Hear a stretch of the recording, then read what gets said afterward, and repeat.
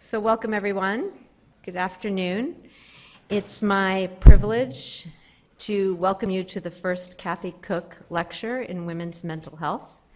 I'm very, very pleased to see all of you here today, and I want to extend an especially warm welcome to all of you, and especially to Cathie's daughter, Abigail Stone, who joins us here today.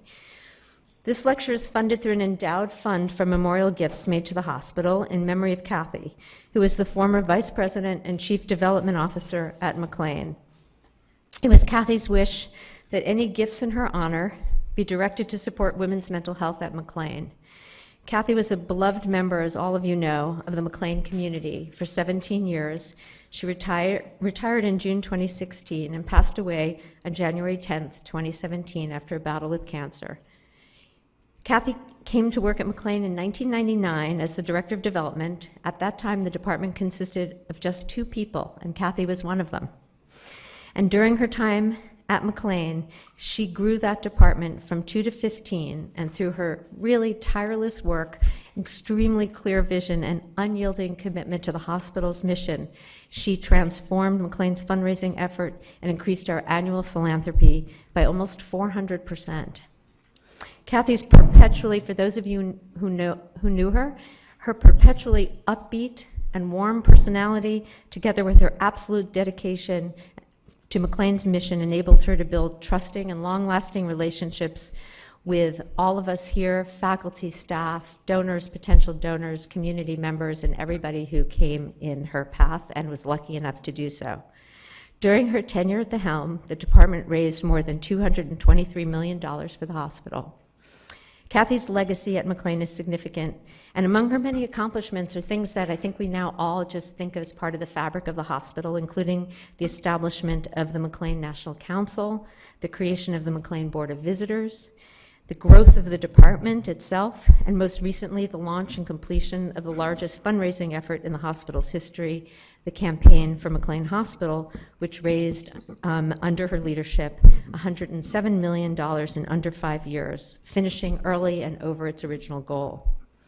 Cathie's natural leadership abilities and her exuberance for her work, coupled with a true compassion for and interest in others and an uncompromising commitment to excellence, made her a wonderful mentor for everyone, including her new staff and, and um, new staff, and also a tremendous colleague for all of us. Cathie showed early on a passion for the area of women's mental health and was one of the earliest supporters and champions of developing a division of women's mental health and also enabling an expansion of that vision. I am personally extremely grateful to Cathie. She was very supportive of me, both professionally and personally. I think of her very, very often. I miss her very much. This lecture is therefore particularly significant because it was really one of Cathie's last initiatives where she helped to launch something we call the Women's Mental Health Leadership Council. And that's a group that has grown now to comprise nearly 80 women in the community who are supportive of women's mental health treatment at McLean Hospital. Cathie had a steadfast commitment to growing support for women's mental health. She's deeply missed, but we are therefore even more thrilled to honor her with this lecture today. And so it is therefore really an extreme pleasure for me and also an honor to welcome Dr. Kimberly Yonkers back to McLean Hospital. Um, Dr. Yonkers and I go way back. We um, were residents together here at McLean Hospital, and um, it's delightful to have her. She's a very close colleague and a friend, and I'm very happy to welcome her back here to McLean. She is a graduate of Amherst College, Columbia Physicians and Surgeons for medical school, and as I said, McLean Hospital for her psychiatric residency training. Dr. Yonkers is a professor in the Department of Psychiatry and also the Department of Obstetrics and Gynecology and Reproductive Sciences and the School of Epidemiology and Public Health at the Yale School of Medicine. She's director of the Center of, for the Well-Being of Women and Mothers, director of research for the Yale New Haven Hospital Division in the Department of Psychiatry, and division director for the Psychological Medicine Service at Yale. She's conducted numerous uh, grant studies funded by the NIMH, NIDA, the National Institute on Child Health um, and Development, exploring optimal ways to in- identify and engage and treat mood and substance use disorders in pregnant and postpartum women. She's also been a leader in codifying the diagnosis and the treatment of premenstrual dysphoric disorder, PMDD. She's held numerous offices, including president of the North American Society for Psychosocial OBGYN. Um, she has been secretary of the International Association for Women's Mental Health and the Program Committee um, for Biological Psych- Psychiatry. She was also on the DSM 5 task force for the American Psychiatric Association. She has um, multiple honors and other achievements. She's also an active clinician who's garnered many awards in the state of Connecticut and is an active mentor to undergraduate medical and postdoctoral students. And I am therefore really um, honored and pleased to welcome her here. She's going to talk with you about the course and consequences of anxiety disorders in pregnancy. So, thank you.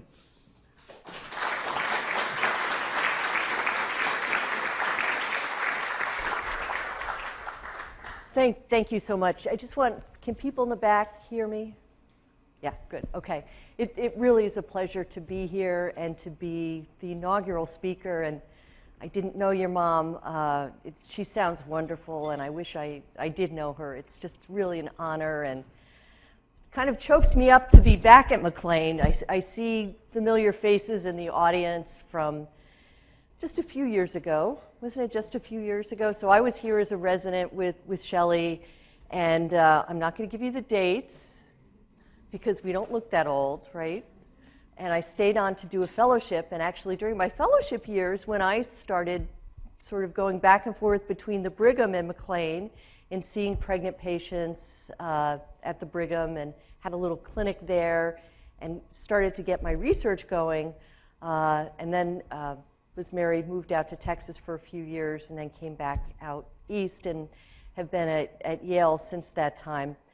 Um, but I've had a chance to chat with a few people since I've been back, and uh, I, for those of you who are trainees at McLean, it's just such a treat. There really is no other institution, psychiatric institution like it, and I really consider it such a privilege to have been trained here, and I've seen other institutions. It's just really an amazing place, and it sounds like it's even better now than, than when I was there or here. And for the clinicians who are here and the teachers that I had, some of whom are in the audience, uh, I just want to thank you for what you gave me, and hopefully I've been able to pass that on to some of the people that I now mentor and train. But it's just a remarkable privilege to be here uh, and to have really benefited from everything that McLean had to offer to me and offers to many, many people. The patients that we treat, our trainees, our faculty, uh, the community, so it's just really wonderful. So, um, yeah, I'm really, you can tell that I'm a little overcommitted because half of the slide includes titles, and I actually have to do a fair amount of stuff where I am now at Yale. Uh, and what I'm going to be talking about today is really some of the work that I've done with regard to pregnancy and anxiety disorders. And um, I'm really going to not give you a broad overview of anxiety disorders in pregnancy, A, because there isn't that much really written in terms of the uh, volume of literature writ large. There's some studies, but I'm going to focus on some of the work that I've done, and particularly this large scale study that we've used to um, explore a lot of associations and risk factors and uh, treatments. So I'm going to be, and because my data, I have it, I can play with it, I can analyze it, and it, the, the, data are really good. So I'm going to really focus on some of my work. Uh, let me start with disclosures. This work was supported by a grant from the uh, from NIH, uh, the the Institute of Child Health and Human Development. Uh, in terms of royalties, I've, I've, or disclosures, I've received royalties from UpToDate, which is this encyclopedic uh, medical encyclopedia, basically, and that was for work for PMDD, not anything I'm discussing today, and I won't be discussing any off label use of medication. So let me just begin by reminding you about the simple epidemiology of anxiety disorders and this is really relevant, of course, for women's health, which is that uh, they are common in women. They're actually twice as common in women as men. And they, the difference between boys and girls starts, unlike depressive disorders, the gender difference starts around adolescence. For anxiety disorders, it starts uh, when, when people are really young, at least in terms of panic disorder, social anxiety disorder, and generalized anxiety disorder. And then the differences just increase over time. So for peop- somebody like me, if I'm interested in women's health and I'm interested in pregnancy, there's an obvious intersection in that the pregnant women that I'm more likely to see who have a psychiatric illness are, are going to have some of these common disorders, as you see here. Does this work, or do I need to do this? Oh, there, it's there. It's subtle. It's very subtle.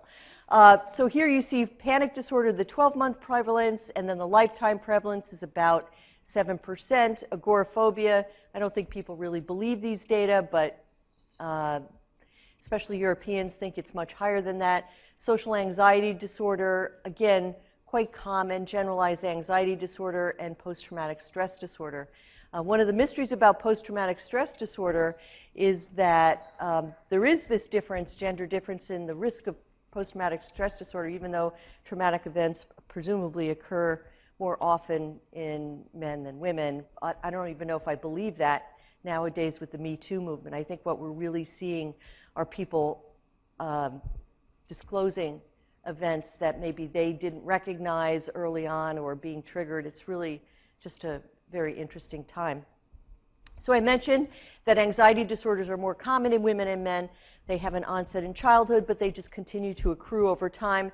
They may be somewhat more common in Native Americans and whites than other racial ethnic groups, although uh, things like social phobia and phobias in particular are more common in African Americans and whites, and they are more prevalent in lower socioeconomic uh, groups. So, what I'm going to focus on in this particular presentation is uh, really what is the course and what are some of the birth outcomes uh, for offspring as well as women who have post traumatic stress disorder in pregnancy, panic disorder in pregnancy, generalized anxiety disorder, and treatments for these conditions. And don't worry, I know that this is a standalone psychiatric hospital. I will operationalize things like birth outcomes uh, because you probably don't have a lot of talks on pregnancy at McLean. Maybe you do, because I know you have a very active well, uh, women's health program. So, um, okay, so we'll just start off. We know the treatments for anxiety disorders, and they, of course, include medication. And McLean is very, very strong on psychotherapy. I think still, it certainly was very strong on psychotherapy when I was here. And so this, for therapy, it says, actually, I'm fine. I just like to have a place where I'm allowed on the couch. So, our little friend there. Uh, it may be surprising, you know, we talk about the consequences of using a medication or taking a medication in pregnancy, uh, but it is the case that over half of pregnant women take at least one prescription medication. And that doesn't include multivitamins. So the use of prescription medications in pregnancy is actually quite common, and so we need to really understand some of the consequences of both illnesses as well as taking medication in pregnancy. And here you see some data on medication use during pregnancy over time, and it's just been increasing over time. And these are now even a little bit subtle pointer here. Um, it's actually been increasing over time, and it includes the first trimester as well as later times of pregnancy. Well, why is the first trimester important? Because the first trimester is the time where uh, babies are at risk of developing some malformation, some teratogenic effect from being on a medication. So we do try and avoid medications, particularly during the first trimester, if that's possible. It's not always possible because sometimes people don't know they're pregnant and they're well into the first trimester and they figure out that the line is turning blue. Uh, and then some people just have illnesses that need to be treated over the course of pregnancy. Our field is really, uh oh. Does that bring it back? Place a call. Our field is really one of the major, while he's trying to do that, I'll just talk. Um, our field is really one of the leaders in these data that you see. And because we tend to use, we tend to have patients who require chronic treatment, whether we're talking about psychotic disorders or recurrent major depressive disorder or anxiety disorders, which tend to be very common. And in fact, if you talk to people who run teratogen information services, so teratogen information services are, or TISs, are some of these services where people can call if they're on a medication and they realize they're pregnant and they want to report it and they want to find out what are the consequences to my, to my baby, to my offspring, that I'm taking this medication during pregnancy. They will tell you that the patients who have mood and anxiety disorders are some of the most, well, not surprising, they're most anxious. They're the ones that are really soaking up a lot of the calls, a lot of the time, that are really worried about the consequences of, of what's happening. As well, we can now, um, we now hear from the media all the time. So, you know, I think my colleague Lee Cohen at, at the MGH has been quoted to saying, you know, anytime, or Zach Stowe from Atlanta, who used to be Atlanta, now he's in, I don't know where he is. I think he's in Arkansas, where, um, that any bad baby story just, you know, uh, receives tons and tons of information. So there's always a lot of attention to that. So we have to be very careful. You know, on the, on the one hand, we're trying to understand what's happening in pregnancy with psychiatric illness and with medication, but we're also trying to not alarm people and we're trying to not stigmatize people. So that's actually one of the reasons that I embarked upon this study, uh, which was a few years back and at that time, we didn't know a lot about depression and its impact, possible impacts on uh, birth outcomes, maternal and fetal birth outcomes. And we didn't understand a lot about the consequences of antidepressant medication on these same outcomes. And there was this really, there was this debate that just by virtue of having a psychiatric illness, in this particular case, having major depressive disorder, meant that you were going to cause problems in your pregnancy, that you were more likely to deliver preterm or you were more likely to deliver a smaller baby. Uh, and I found that very problematic because of the lack of context, as well as the lack of looking at the, the, the need for medication, as well as what medications could be doing.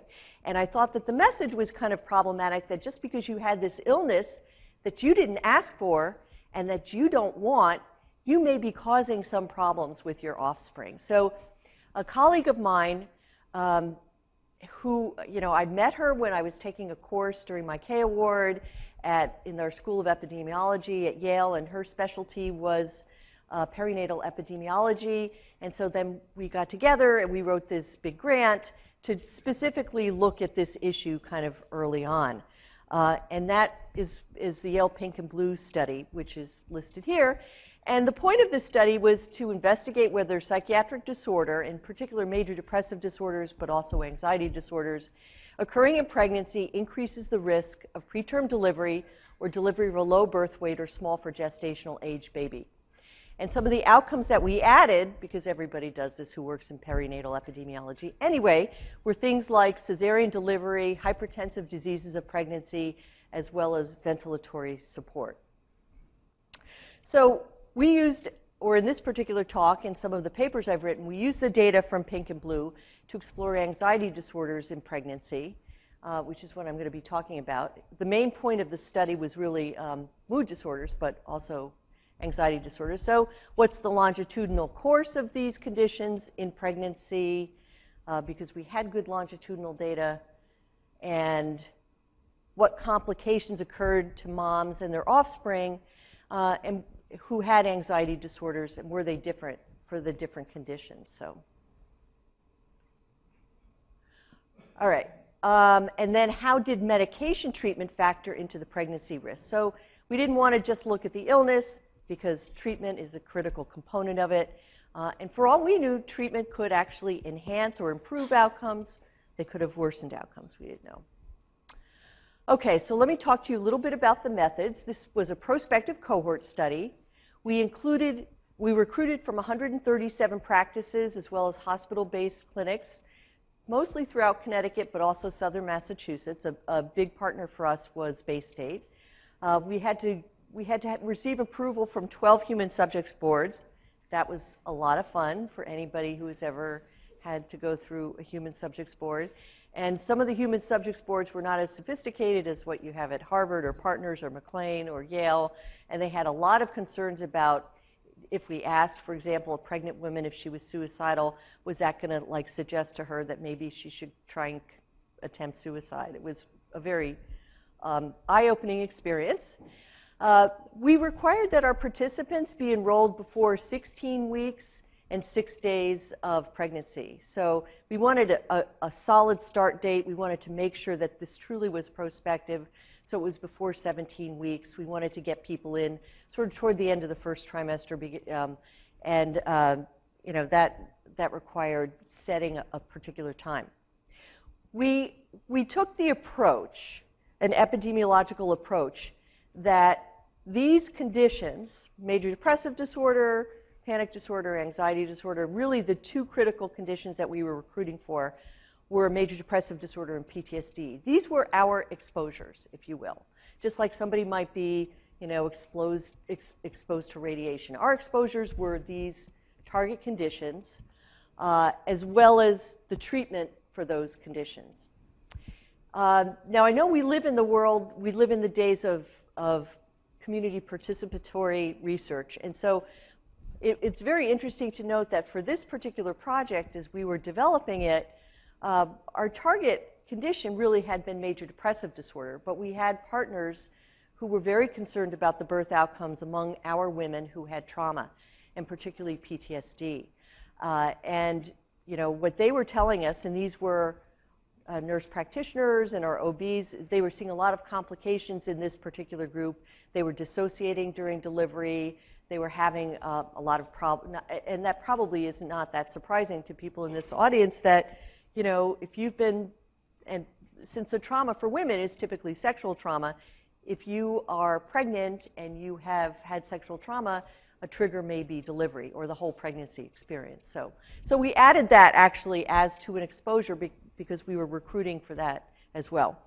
And then, of course, we wanted some unexposed comparators uh, at, to follow through the study. Um, we had some exclusions. They were really minimal. They had to be at least uh, 17 years of age. They couldn't be planning to terminate their pregnancy because we were looking at pregnancy outcomes, and that would not be helpful to us. We had to. We only included people that spoke English or Spanish. We did offer the um, interviews in Spanish. At that time, they had to have a telephone, and when we did this work, it was not that long ago, but cell phones were not ubiquitous at that time. Uh, so that was, you know, people were still relying on landlines. We did try and recruit people who planned to stay in the area because we wanted to follow them prospectively, and then we wanted to be able to collect their birth outcome data. We did not include people who at the outset had insulin dependent diabetes because that's actually a risk factor for preterm delivery as well as low birth weight as well as uh, large babies. And then we did not recruit people with a known multifetal gestation. Uh, you know, of course, we did have people with gestational diabetes, and we did have a few people who later on found out that they were having twins. Uh, they, we didn't have triplets. They usually know right away.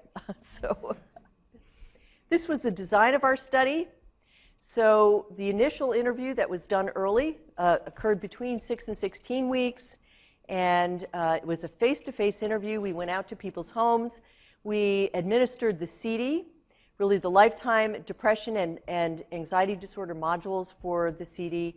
Uh, the MDE, we collected all the symptoms on major depressive disorder and other symptoms prior to pregnancy as well. Uh, and then we collected information monthly. So we tried to get an intellectual, uh, a, a, prospective snapshot. We also collected information about any medication that they were taking. So it says antidepressants here, uh, but it was any medication. What we did is we actually asked them to bring their bottles in, and we just wrote down what their prescription bottles did, had on them. Um, then we conducted a monitoring interview at between 28 and 32 weeks. That was conducted over the telephone. And then postnatally, we re interviewed them about one to three months after they delivered. Uh, and we did a medical record review to extract their birth outcomes. And what we did when we were extracting their birth outcomes is we did it in a, in a more obstetrical way. We didn't just look at a diagnosis of preterm delivery. We actually looked at all of the elements, you know, when they started having, you know, whether they had PPROM, which is premature rupture of membranes, and whether, you know, how, how long they were in labor, and the contractions, and all this level of detail. That's a lot for psychiatry, I have to say. Especially, I trained here. I didn't train in General Hospital. Uh, I feel like I had to pull back a lot of information from medical school and work a lot with my obstetrical colleagues. So um, this is just our cohort. Uh, we had a little over 9,500 volunteers who were interested in participating in the study. Uh, there were some who were either not eligible or subsequently refused. And then we had a group here were, who were eligible and screened uh, negative for the study. And what we did is we, because we had more people who were not exposed than people who were exposed, we randomly selected one third of the individuals who were not exposed. And so it didn't mean that they actually could have had panic disorder or they could have had GAD. Uh, but they did not have one of our target exposures, which was MDD, antidepressant treatment, or PTSD. Um, and then the people who were randomly selected were invited to participate, and then anybody who had one of our exposures was invited to participate. And we ended up um, inviting 3,517 women. Uh, we had a small group that declined, and we interviewed 2,793 women. Uh, you know, because of the timing, some people just made it over that mark where before we could get out to see them, they were 17 weeks or 17 weeks in one day, and we weren't able to include them. So it wasn't just that they didn't, they decided not to participate. It was a lot of it was was the timing and the mechanism of this.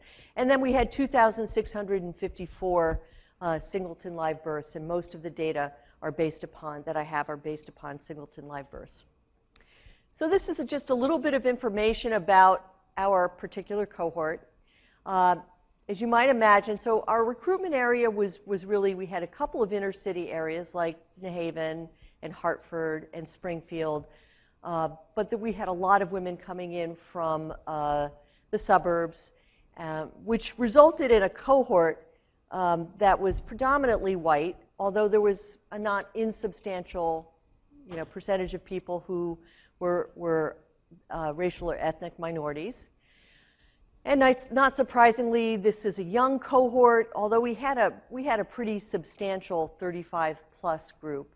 And that probably reflects just the level of education, you know, that overall in this particular cohort. Um, and you can see that over in the bottom right-hand corner. I'm not going to rely on this here. So, you know, we had 56.6% of people who had 16 years or greater of education. So it was that actually, this actually makes our cohort somewhat unique, both in comparison to a cohort that I had collected from Healthy Start prior to this, which was uh, largely inner city minority women, uh, and a lot of the birth data, registry data that we see from the United States, which is largely um, inner city minority women. Um, based upon the researchers who've done the work. Um, so our, our cohort is also pretty unique with regard to that. Most of our participants were married or cohabitating, and um, we had a healthy number or percentage of women who were in their first pregnancy, so uh, reflected here. So one of the things I think is really interesting and it bears upon you know what I was talking before, which is what happens with medication treatment of pregnancy, was um, the spontaneous discontinuation of pregnancy. And I think Dr. Baldessarini and I were just chatting briefly about that before. That uh, a lot of times people are taking medication, the line turns blue, and they stop taking their medication. Um, this is a little, uh, we actually did a deep dive into this and looked at week by week um, medication use because we had a question of when you stopped your medication, and then we collected, you know, detailed data about medication use. And this is a little bit of a cartoon. It was really much more here. I think that it, it really decreased, um, but um, it is the case that people, you know, a lot of people stopped their antidepressant use in pregnancy and then they increased it uh, at, as soon as they delivered. Now, we didn't find that rates of major depressive disorder increased during the postpartum period, which is very interesting. Uh, and we looked at this every way possible. We looked at multiple measures, we looked at symptoms, we looked at. So I don't know what these people were doing here, uh, but we didn't see illnesses increase during the postpartum period. And we're not the first ones to, to actually see that, uh, that in a lot of cases the risk of depression doesn't increase in the postpartum period. But the increase, there was an increase in medication. Whether people actually started to sense that they may be relapsing and went ahead and restarted their medication, or were fearful that they might, might relapse based upon previous experience, um, I can't say, but we certainly did see that. It didn't, it didn't go, the rate of antidepressant use didn't go up to where it was uh, before people participated, but it certainly did increase a bit. So I want to talk about the course of illness in pregnancy and whether symptoms improve, improved across pregnancy, really how long did they endure, and what the natural course of illness is, because uh, this can really help clinicians strategize with their patients how best to manage their condition. Uh, so, you know, for example, for manic depressive illness, when people discontinue their medication in pregnancy, they relapse. There's not a lot of benefit if you're pregnant um, to, um, let me rephrase that. You don't get a lot of therapeutic benefit by virtue of being pregnant if you have manic depressive illness. There may be some mild benefit, but if you stop your medication, you're generally going to relapse. Uh, and so, and the, the issue with major depressive disorder is a little complex. Uh, for those of you who know a, a really a, a, classic paper that was published in JAMA by, by Lee Cohen and Zach Stowe, they found a very, very high rate of relapse for recurrent major depressive disorder if people discontinued medication. Their hazard ratio was something like five, so it was really profound. We looked at that in our data, and we just we didn't see that. Uh, we saw a very small increment. It wasn't even statistically significant. And it may be that our cohort, our, our women, were recruited not from somebody's you know, tertiary treatment center coming in for consultation. We were, we were really recruiting your typical woman who comes into their OB-GYN's office because they're pregnant and they're on antidepressants or they're, they're ha- they have a history of depression. So we probably had a less severe end of the spectrum, which I think actually fills in some of the gaps, right? Um, because if you're out there and you're treating a patient and she gets pregnant, uh, you want to know the full end of the spectrum about whether somebody should, you know, continue medication in pregnancy or discontinue medication in pregnancy.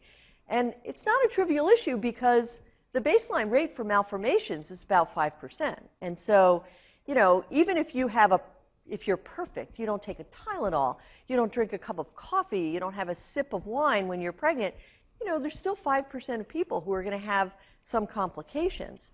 And we're treating the most anxious and the most depressed group who have a propensity already to blame themselves for anything that happened during their pregnancy. So, you know, we really want, we want to know what happens just in a very healthy population so we can put that into context. Because so often, what I, and what I tell my patients uh, or the people I consult to is a lot of this is true, true, not related. It may have nothing to do with the fact that you did this, or just did this, or, or did that. And I think it's really helpful for our patients to know and be educated about what some of the risks are, what are the, some, some of the risks are not. Uh, so let me talk a little bit about um, panic disorder, but I do want to preface that, and we may have less appreciation for it. You know, our, we as mental health professionals may have less appreciation for it than our colleagues who are OB-GYNs or cardiologists. But one of the things that you really don't want to see if you're working in a general medical hospital or in, in ED is you don't want a pregnant woman coming in saying that she has chest pain and she can't breathe because she's pregnant. And we think, oh, maybe it's a panic attack, but other docs think PE, somebody could have a pulmonary embolus, or they could have AFib, or they could have be having a heart attack or something like that. And it's terrible when it happens to anybody. It's really terrible when it happens to a young woman, and it's really terrible when it happens to a pregnant young woman. So, um, you know, having information on panic disorder in pregnancy can, can really help our colleagues in other fields as well. These are the symptoms. Um, and one of the things I wanted to put up here to just as a reminder, you know, we think about panic disorder, people having panic attacks, but part of the disorder is also one month of persistent concern of recurrence or impairment. So you could, in fact, have um, not have any panic attacks during pregnancy and still have that concern or that fear about having a subsequent panic attack, and that will still leave you in episode of, of illness. Um, and, and as a codicil, I will say that one of the things that these data are able to do is we can look at registry data. For example, you know, the Swedish have a very, very rich registry data. You know, if you're Swedish, you get assigned a number and it follows you. And, you know, if you see your OB-GYN, that's your number. If you see a psychiatrist, that's your number. If you see your family practitioner. And they can link these databases and they can come up with some really important information. And they can do some interviews at baseline of pregnancy and then afterward. But what they can't do is they can't they can't really diagnose panic disorder the way that we can with our instruments and with our level of expertise because of some of these nuances like you could still be an episode for panic disorder even if you're not having panic attacks so uh, these are the characteristics of our cohort. Uh, we actually had a lot of women who had panic attacks in pregnancy. The 237 before pregnancy and then 183 continued to have uh, panic attacks uh, in pregnancy. Panic disorder was less, but still, um, still probably the world's largest longitudinal cohort of people with panic uh, disorder in pregnancy. Now, panic disorder, you know, we had some hypotheses about what would happen with anxiety disorders in general and panic disorder in particular. And so this is just sort of a reminder of, you know, what happens hormonally during pregnancy. Uh, and not surprisingly, and this, this just focuses on progesterone and its metabolites, but you know, as pregnancy progresses, you get these really massive levels of progesterone um, compared to the non gravid state. And one of the things that's also interesting about progesterone is progesterone is metabolized to 5 alpha dihydroprogesterone, or 5, 5, 5 di, dihydro-P, and then further metabolized through reduction of the A ring of the compound to allopregnanolone. And some of you may know that this is actually a GABA agonist, and some agonists of allo have been used as anesthetics. So one could hypothesize that as pregnancy progresses, that you are actually making more of a natural um, hormone that could be that could have anxiolytic properties. And if you've been pregnant, as I have, and maybe, maybe other people in the audience have been, you may have noticed that you slow down a little bit, and maybe you react a little bit less, and maybe you're a little, you know, I felt like I was a little slower when I was pregnant. So, it, and it may be that this is part of natural selection. You know, we want, we don't want pregnant women running around like doing too much and, you know, putting themselves and their fetus at risk. We want them to be a little bit more chill and nest and things like that. And it could be that this would be potentially beneficial um, over the course of pregnancy. But then there are other things that are also happening simultaneously. And we know, for example, that people who have panic disorder are very sensitive to interoceptive cues, right? So a couple skipped heartbeats, oh my God, you know, they don't even notice it, but they feel like they're having a panic attack and then it sort of snowballs. Or maybe some, you know, uh, something that triggers shortness of breath for whatever reason, and that could trigger a panic attack even without them knowing it. And there are paradigms for this. You know, we put people in chairs and we spin them around and we give them, you know, CO2 masks and we can precipitate panic attacks. Um, so, you know, in pregnancy, there's an increase in uterine contents, which actually can constrict, you know, the stroke volume for, or, or the ventilatory volume, and that could potentially actually be a trigger instead of uh, you know, a benefit in panic. So we uh, in in a pregnancy. So we didn't really know what would happen across the course of, of pregnancy for panic disorder. And this just is a side a slide to to show you about um, some of these. They're called neurosteroids. They're really hot now. You've probably been visited by some SAGE representative because they have an analog of allopregnanolone that they want to use to treat um, postnatal women with, with depression. Um, so we're going to be seeing these first-in-class drugs, um, but this is really the part of the you know, biological um, hypothesis that's related to this, which is progesterone is metabolized and to 5-alpha dihydro-P and then allopregnanolone. And this has non-genomic properties um, at, at the GABA-A receptor, kind of like barbiturates, but there are also some genetic effects as a result of these compounds. So this is what we found in terms of the course of illness for panic. Um, and I would just bring your attention to this line. We did find that 10% of our women actually continue to be in episode during pregnancy. But we did have this like smattering of people who were symptomatic in the first trimester and then offset. Some people developed symptoms again. Um, but and then some people just had them toward the end of pregnancy. So it was really kind of all over the place, um, but a little bit um, somewhat consistent. We looked at the symptoms that people were experiencing a couple at different times in pregnancy, and just reflect back on on that slide I showed you. So you know we would see these large increases in progesterone and some of these natural anxiolytics, if you will.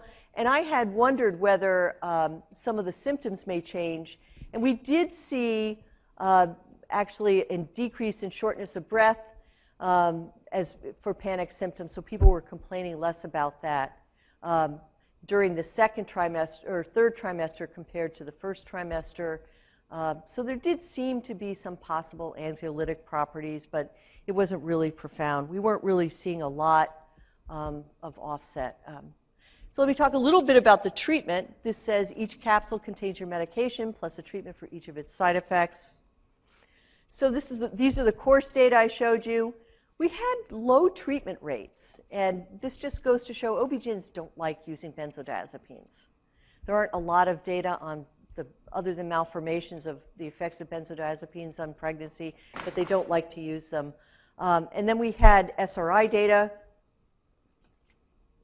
So about 20% of our women were using SRIs, and it may remain pretty stable across, across pregnancy.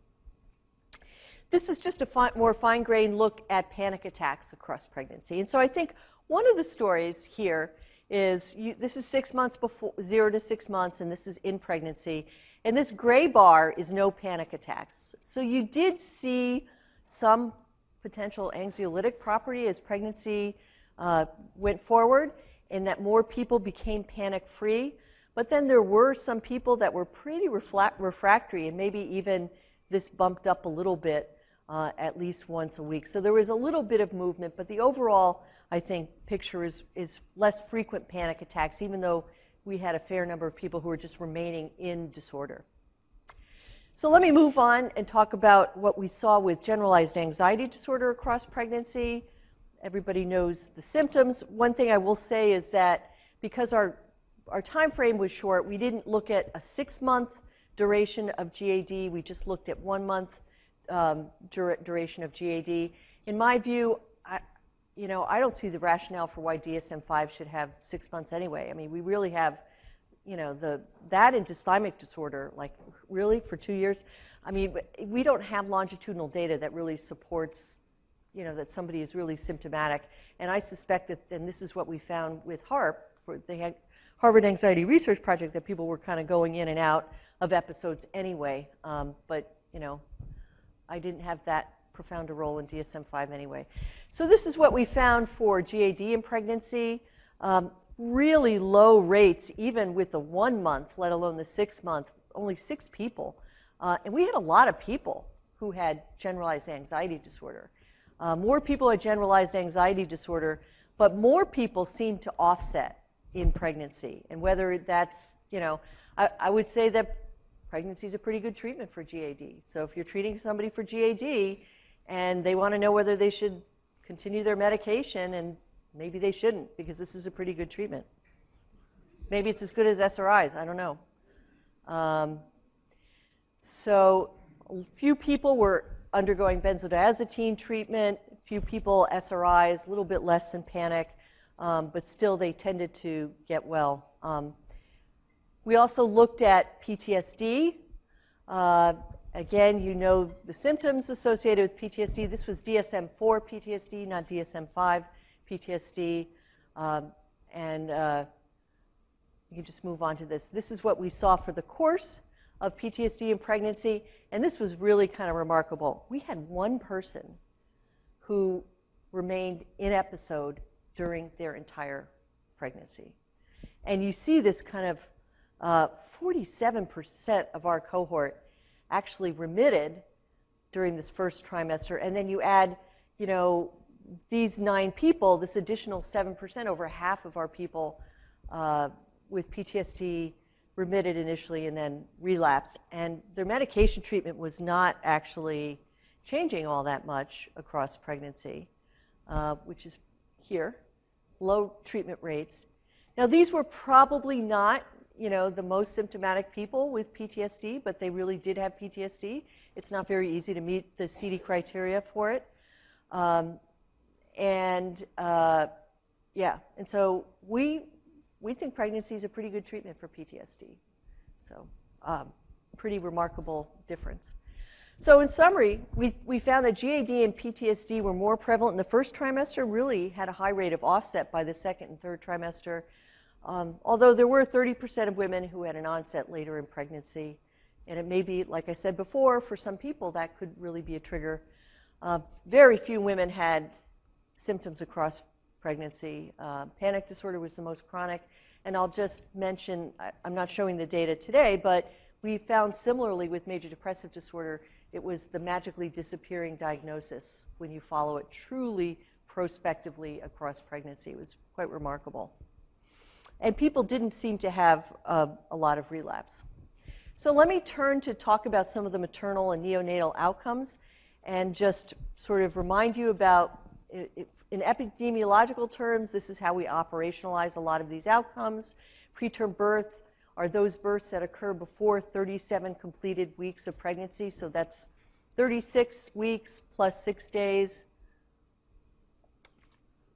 Low birth weight is less than 2,500 grams. We looked at cesarean delivery. We looked at hypertension of pregnancy, which includes preeclampsia and HELLP, which is very uncommon, um, as well as gestational hypertension. Uh, we also looked at the need for minor ventilatory intervention, which would have been, you know, this DeLee suctioning and a little bit of nasal O2, as well as more um, uh, invasive ventilatory support like CPAP or just needing to be ventilated. So um, we had previously published a paper using a Healthy Start cohort where we found actually that PTSD was associated with preterm birth and we thought we would find it in the second large cohort, which we didn't. Um, and it may be because uh, the air in the room was really being soaked up by those people who had complex PTSD, who had both PTSD and MDD. And I still wonder when I read some of the papers in the literature that associate the diagnosis of MDD with some adverse birth outcomes, if they're really not picking up this really ill group who's more likely, you know, if you have a person who has both PTSD and MDD, and you're a family practitioner or a primary care doctor or an OB-GYN, right? You're more likely to diagnose MDD, um, the A than PTSD, and you're more like, because you know more about it, it's more common.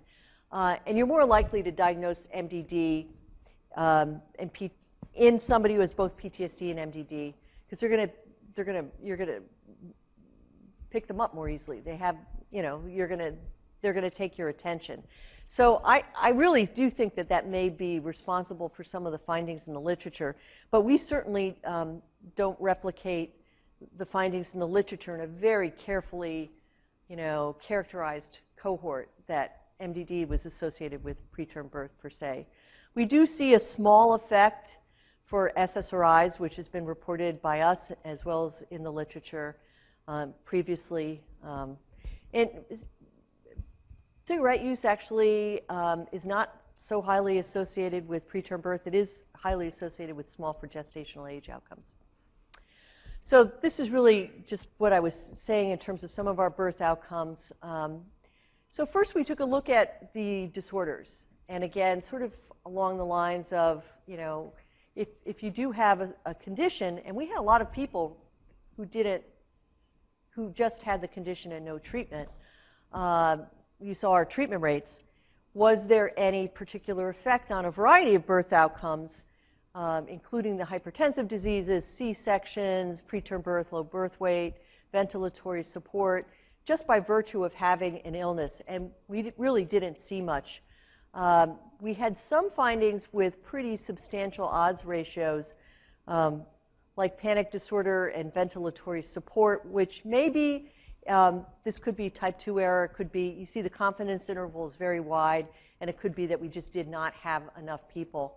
Uh, it wouldn't surprise me if there was some genetic component to this, you know, to panic disorder and ventilatory support in, in babies. We just didn't see it in this particular cohort, but it was a small number. Uh, then we looked at the flip side of that, which are some of the treatments, uh, and that's really where a lot of the action was. Um, so we found that use of an SRI in pregnancy increased the risk of developing hypertensive disease in pregnancy almost threefold.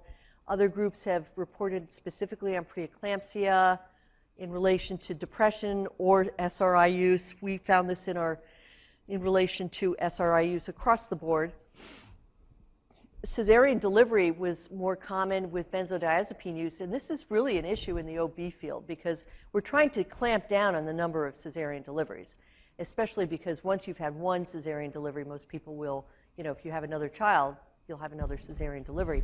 And it really, it didn't, it makes a lot of sense to me because I think it may be contributing to some atonia in terms of the uterus, but what didn't make sense is we saw this even for people who use benzos early, early in pregnancy too. So that means it may have something to do with placentation, which is, you know, how the, the conceptus um, develops its system in the uterus and, and, you know, the whole system that can then lead to problems like preeclampsia and, and preterm birth. Uh, we did see low birth weight, but um, they were appropriate for age given the high rate of preterm delivery. Neonatal ventilatory support, again, this sort of makes sense that it would be more common in the setting of benzodiazepine use. And, you know, when you look at these data, it really does suggest that for moms who have anxiety disorders in pregnancy, if you can avoid taking benzodiazepines, particularly toward the end of pregnancy, that's a really good idea. And it's not just from the malformation perspective, it's really also from, from the birth outcome perspective. Uh, SRI use in pregnancy has been associated with preterm birth by our group as well as other groups. It really shortens it between a couple and five days. So it gets you into that box of preterm delivery, which is an epidemiological construct. And you know, we know that the complications are higher in, in kids that are born preterm, but the actual continuous measure of how early it is um, doesn't worry me very much. But maybe mediated, uh, we don't see that it's mediated by depression or anxiety disorders, but maybe other substance use, things that we didn't pick up. I should say that in these analyses, we also controlled for illicit substances, licit substances such as alcohol and smoking. We controlled for weight. We controlled for um, a whole variety of factors. So th this was because we had a really rich database, we could really isolate some of the effects. Effects on placentation, effects on fetal membranes, and actually we have a laboratory model that one of my colleagues and collaborators has been working on, and we've been looking at apoptosis in fetal membranes um, as a result of antidepressants and some downstream um, increase in, in, in immune modulators that are associated with antidepressant use in pregnancy. This association that we found with hypertensive diseases in pregnancy and SRI, uh, it's, it's also been shown by other groups, but the data are really mixed. And what's this due to? We know SRIs or, so, or blockage of serotonin uh, can lead to vasoconstriction. Maybe it's inhibition of, of, of, of, nitric oxide, which would cause vasodilation. We don't know. Um, other mediators are possible. Uh, the low birth weight finding that we had, um, the babies were actually preterm more than low birth weight, so they were small because they were preterm, not small because they were small. So they were appropriately sized for um, the duration of, of uh, pregnancy. I already spoke a little bit about benzodiazepine and neonatal support. It sort of makes sense when we think about what happens with adults uh, and benzodiazepine use. So they, of course, they can impair ventilatory drive in adults, especially at high doses. So it makes sense that that could happen with, with babies. And depending on what the compound is and what the dose was, we're not talking about a two compartment, you know, this, we're talking about much larger um, uh, number of compartments here because the baby's in the uterus and amniotic fluid, and then it gets into baby's brain. So, you know, it, it's, it's pretty complex. It's also possible that some of this was a withdrawal from benzodiazepines, and people have hypothesized that. Um, or we could have missed other concurrent substance use in this. This, this was pretty minor.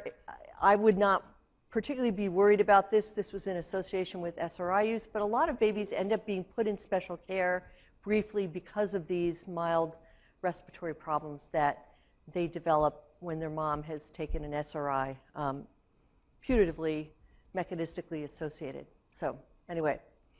So, in summary, these data don't support a strong association between maternal anxiety disorders and adverse maternal and fetal outcomes. And I, you know, this, this paper, because it was a pregnancy paper and it involved psychiatric illness, of course, you know, we were interviewed by NPR, and of course, it was picked up by the media. And, you know, when we do this, we really work on the messaging of how this is going to come through. And this was really what I pitched for the take home message that this is really a good news story, right? because it means that we don't need to blame our patients for having a psychiatric illness that they don't want. It's not their fault if they have some of these complications.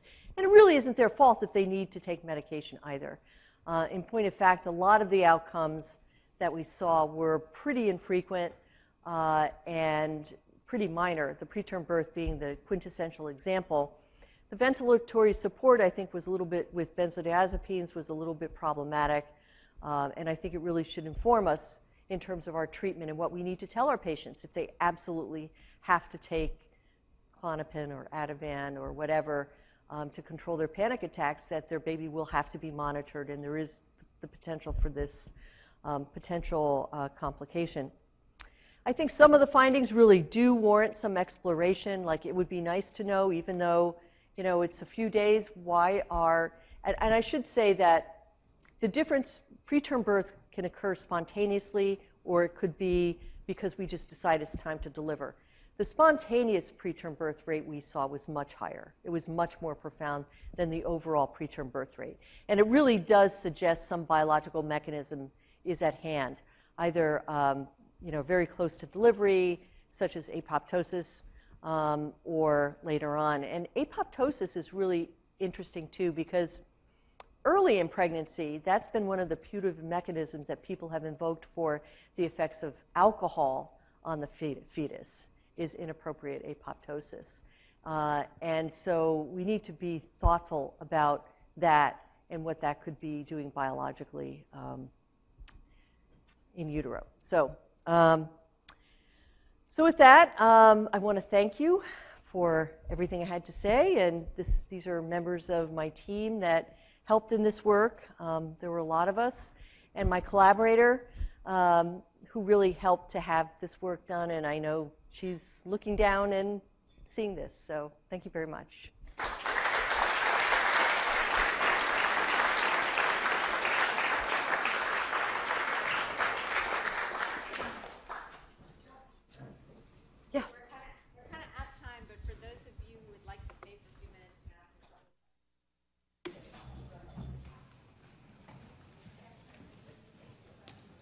I shouldn't have spoken so much.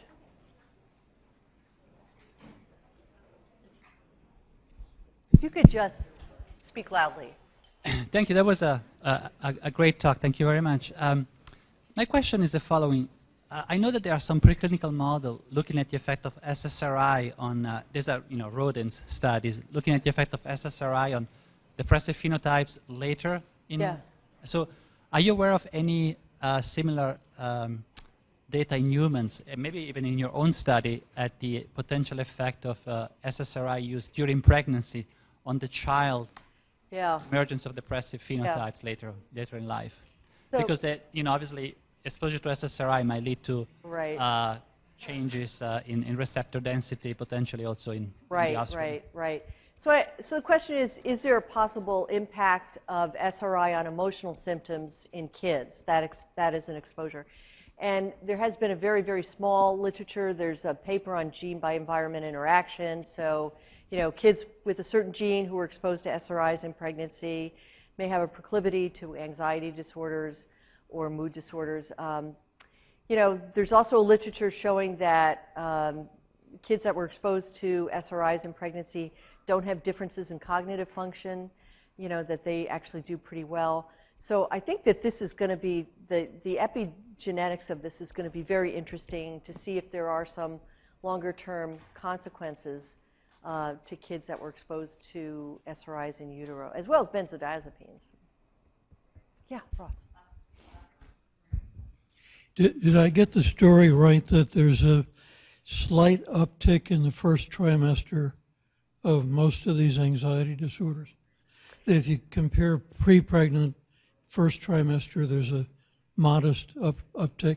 Um, not really compared to six months. Compared to six months before, everything actually kind of goes down.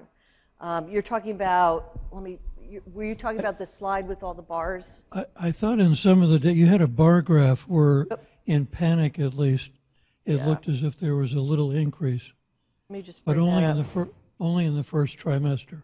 Yeah, there, there's certainly, cli here, this is the slide.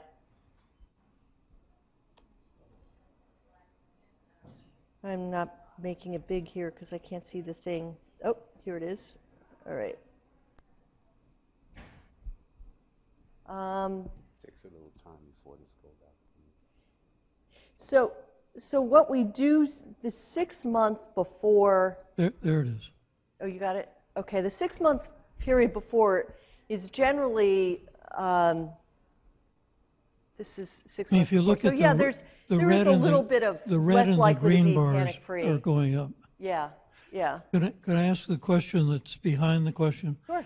Did you look to see if there's a bias toward that risk in first trimester with people who are coming off medication? Um, Which We is an haven't old, which specifically looked old, at that. It, it may be the case. It's pretty, it's a pretty small effect. Yeah. Um, it kind of stays, I mean, it, when you look, it, and it depends on the severity category. These are such small numbers when we start to look at this. Yeah. You know, this is at least once per day group. Um, it's really hard to statistically find. I mean, I think qualitatively you could look and say that something might be happening, but our numbers are really too small, and the treatment numbers were really small. I, I was hoping the answer was no because the rest of the uh, take home is very positive and reassuring. Okay, well, for you then, no.